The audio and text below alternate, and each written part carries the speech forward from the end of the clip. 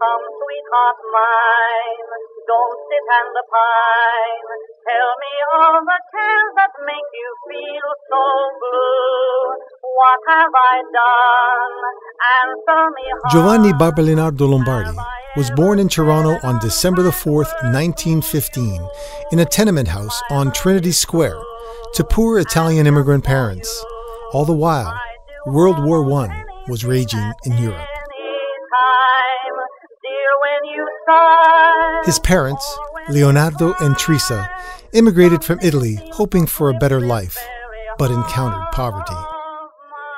Unemployed, destitute, and desperate, when they couldn't pay their rent, they were forced to move many, many times before finally settling in the College Street area. Johnny loved music as a child.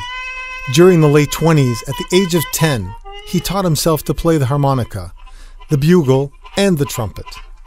His musical studies paid off, and he joined the Boys K Club and Columbus Boys Club, which were service clubs for underprivileged children. From a young age, Johnny was driven by his poverty. He wanted to help his family and earn money to pay for food. During the Great Depression, he shined shoes and folded newspapers for La Tribuna Italo-Canadese.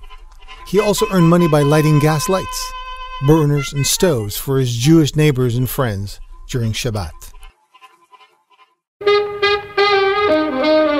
In his early 20s, Johnny formed his own band, the Johnny Lombardi Orchestra. In the late 30s, Johnny left Toronto joining Benny Palmer's band in London, Ontario, and he was the first trumpet player of this renowned orchestra. He continued to send money home to his family.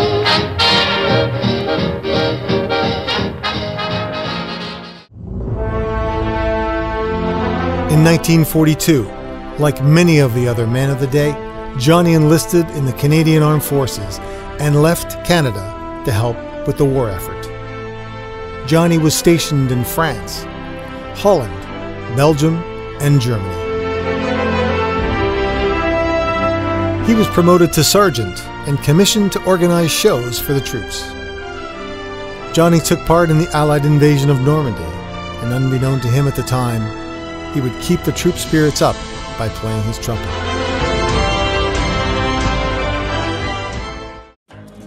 At the end of the war, he was stationed in Zutphen, Holland, and continued to provide entertainment for the troops waiting to go home. He was one of the last Canadians to leave Europe in 1946.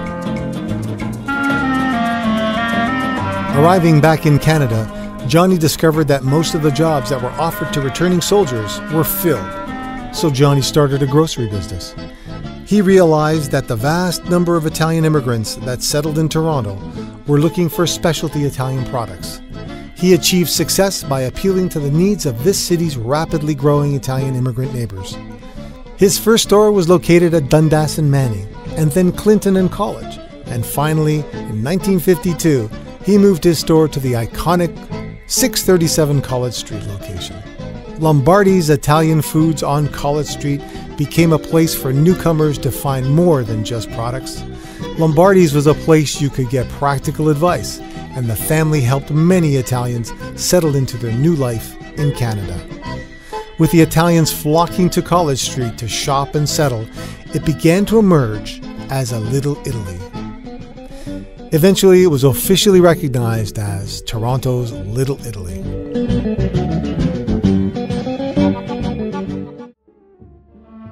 Johnny realized that he needed to promote his store and products, so he started to produce radio programs by brokering time on Chum Radio.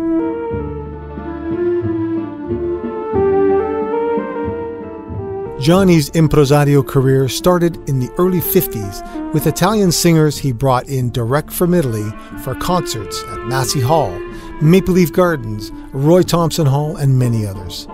The concerts were always a seller.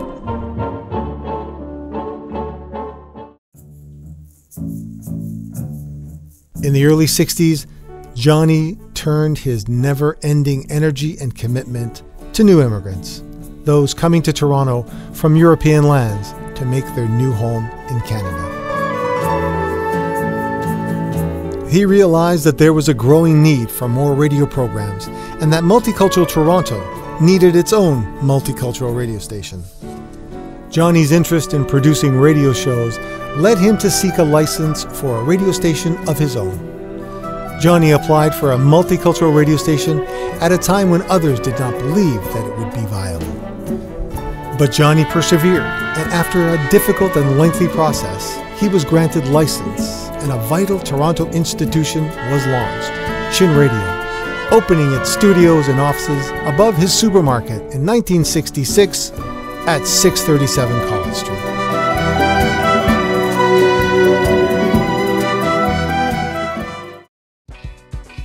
Nineteen sixty six was also the year that Johnny created the Chin International Picnic. Johnny wanted to bring together all the communities that his radio station served. It became one of the city's largest and diverse annual celebrations, drawing as many as 250,000 people attending making it the world's largest free picnic.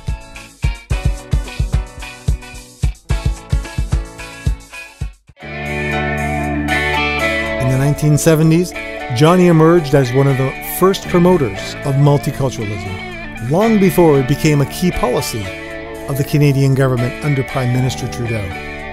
In the early 1970s, he also expanded into multicultural television. Johnny always believed in giving back to the community. With his radio and television programs thriving, Johnny devoted his programs and time to raise funds for various causes. In 1987, he received the Order of Ontario, and in 1988, the Order of Canada.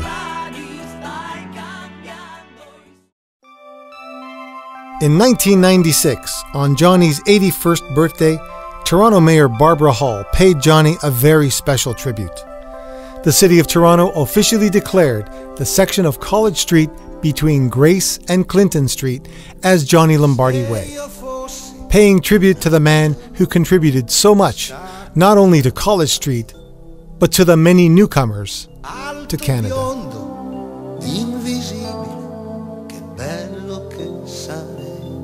In the fall of 2001, Johnny and his son Lenny applied for and received CRTC approval for the first full service multicultural and multilingual radio station, CJLL, in the nation's capital, serving Ottawa and the Gatineau regions.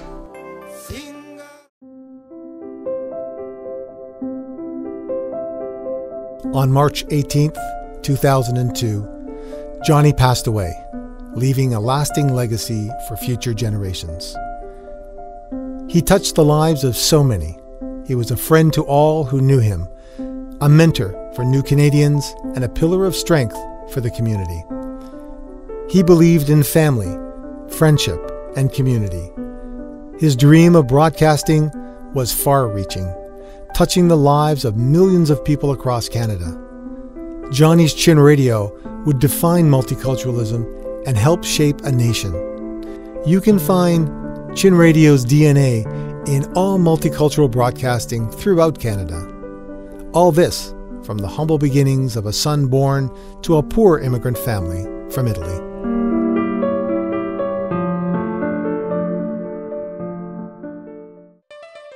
In the summer of 2004, Mayor Mel Lastman and Deputy Mayor Joe Pantalone spearheaded an effort that joined local businesses and the Lombardi family to create Piazza Johnny Lombardi as a memorial to his life and work. The piazza is located at College and Grace, where Johnny lived and worked. The curved seating walls recall the ocean and radio waves that brought Johnny together with the diverse cultures he celebrated. At the heart of the piazza is a bronze statue of Johnny, engaged and full of life. He is having a conversation with the statue of a young boy wearing Johnny's signature baseball cap.